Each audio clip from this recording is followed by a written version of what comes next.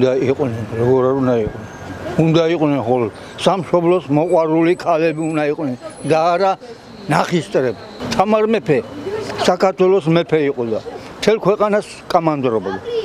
და ქართული ხალხი ყელამდე ნაყამდა ცხოვრებას. ესენი ღორები, ღორებზე ღორები სჭამენ ქვეყანას, შვილო, სჭამენ ქვეყანას.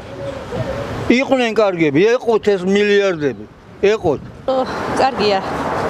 ქალები პოლიტიკაში, მეტი ქალი უნდა იყოს ჩემი აზრით. არ ვიცი. რისი გაკეთება შეუძლიათ მათ? ალბათ უფრო მეტის. ჩემი ერთ ქალები უნდა იყვნენ პოლიტიკაში, თუ არიან კაცები რატო უნდა იყვნენ ქალები? იმიტომ რომ ქალები უფრო ბევრად კარგად აცაზრუნებენ, უფრო კარგი, უფრო შეგნებულებიც არიან.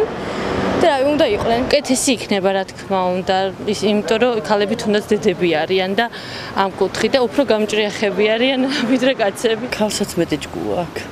წავიდა ის დრო. ქალი რო იტყვის, ქალი ბრძენია. იცი რატომაც არა არიან მამალი ქალები, ყოჩაღი ქალები და პოლიტიკოსობა ზოგი ზოგ კაც საჯობებენ და რატომაც არ შეიძლება რომ იყოს. ერის მოწინავე საზოგადოებაში ქალიც უნდა იდგეს წინა პლანზე და ამ ამისათვის საჭიროა რომ ქალებიც მონაწილეობდნენ. მამაკაცები უკეთ წყვეტენ საქმეს, მე ასე ვფიქრობ. ალბათ მეტი შეუძლია.